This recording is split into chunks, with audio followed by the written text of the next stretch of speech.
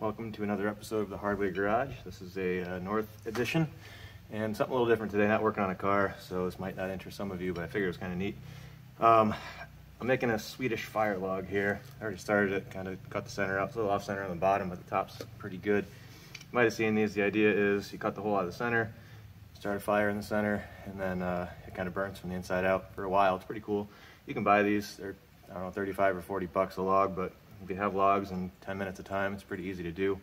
Um, I split it with just a splitting maul, put a ratchet strap around it, try to keep it together. You can see the bottom, I've already got strapped up, but thought this was kind of a cool opportunity to show you this little tool. Um, I stole this idea from this guy on YouTube called Advoco Makes, I think is his name. I'll try to spell it maybe in the, in the caption or description or something, but uh, it's a wire cinch tool. It's pretty neat. It's got two little holes uh, drilled in right here on a handle, a little notch cut in it, and it basically allows you to create a wire clamp with mechanics wire or baling wire, anything like that. And it's super tight and it's really easy to use. So I figured I'd do a really quick video just mainly on this tool. Um, I made this, took me like an hour maybe, and a bunch of that was like polishing. I took a really piece of crappy old scrap that I pulled out of my mom's farmyard when she bought it, like bought a property about 10 years ago, 20 years ago, 20 years ago.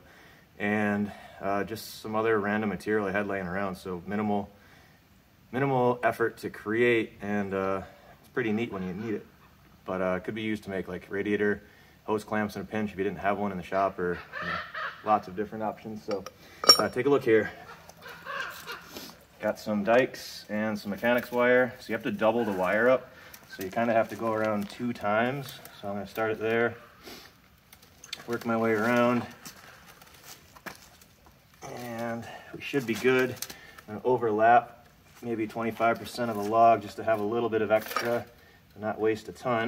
Snip that off, set it aside, straighten out your wire, loop it back on itself, pull it kind of tight and even with the ends, and just basically run it right around the log. I try to keep the wires separate and just kind of do one of these like this. You want to keep these ends fairly straight. And then as you might have been able to see, there's two holes drilled in this round piece. And then this T serves as a handle. Um, so it looks like I might not have left quite enough for myself. So I'm gonna try to squeeze my wires together.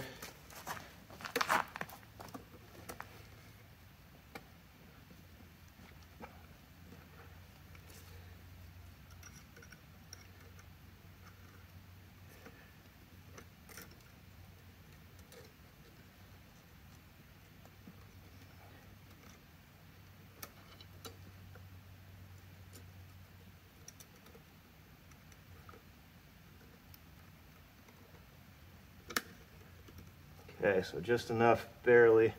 Um, so I got some wire poking through, might be able to see over here.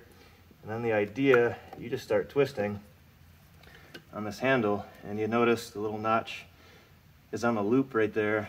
And what this does is this draws it really, really tight. Um, the more you cinch, tighter it goes. I have broken the mechanics wire before, so you do have to be careful of that. But get it nice and tight, Got about a half a wrap around. Simply take it, fold this over, and that's where you get a lot of your tension from. And then with this extra tail here, nip the bottom, nip the top, and then I usually just take these depending on what I'm doing. You can fold them, you can wrap them, you can tuck them, you can loop them around each other. But at this point, should have pretty good. Fire log ready to go. So nice and tight. As it burns, obviously, you'll have to you know, kind of hold it together. I can sometimes bring the wires together, but this is ready to stuff some paper and some kindling in the bottom. We'll have a fire for a couple hours here, probably. Should be pretty nice. Again, not your average Hardway Garage. Figured we'd make this one a short.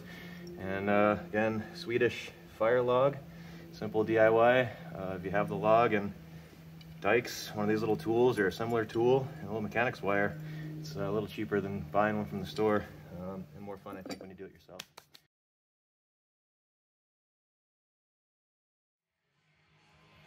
So this is a little bit later. Got a fire going on this thing. You can see it runs pretty good. I did modify it a little. I had it too tight, so I did put a couple three-quarter inch holes in it. Normally, I think if you leave a little bit more room in these cracks, it breathes really good, but nice little fire, little kindling inside.